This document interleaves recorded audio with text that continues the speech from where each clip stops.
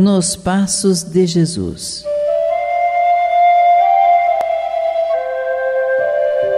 A mensagem que levamos ao seu coração hoje está registrada no livro Atos dos Apóstolos, capítulo 2, versículo 47, e tem o seguinte texto.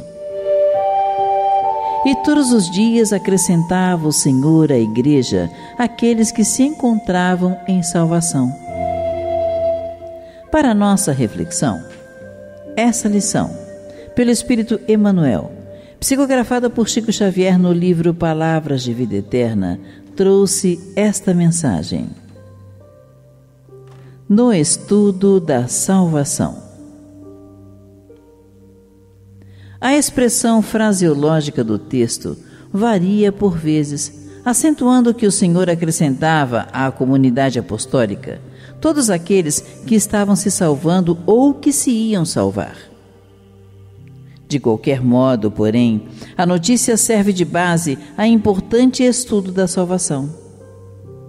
Muita gente acredita que salvar-se será livrar-se de todos os riscos na conquista da suprema tranquilidade. Entretanto, vemos o Cristo apartando as almas em processo de salvação para testemunho incessante no sacrifício. Muitos daqueles que foram acrescentados ao serviço da Igreja nascente conheceram aflição e martírio, lapidação e morte. Designados por Jesus para a obra divina, não se forraram à dor. Mãos calejadas em duro trabalho, conheceram sarcasmos soezes e vigílias atrozes.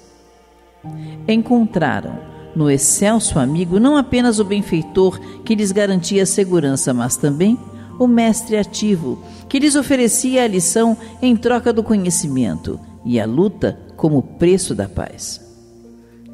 É que salvar não será situar alguém na redoma da preguiça, a distância do suor na marcha evolutiva, tanto quanto triunfar não significa deserção do combate. Consoante o ensinamento do próprio Cristo, que não isentou a si mesmo do selo infamante da cruz, salvar é, sobretudo, regenerar, instruir, educar e aperfeiçoar para a vida eterna.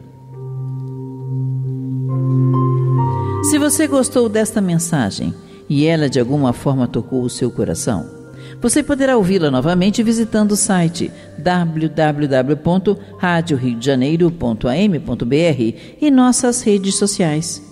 Lá, você vai encontrar outros áudios e vídeos que vão ajudar no seu crescimento espiritual. Convidamos você a participar da missão de divulgação da doutrina espírita. Felícia ao Clube da Fraternidade, Rádio Rio de Janeiro, 1400 AM, construindo um mundo melhor.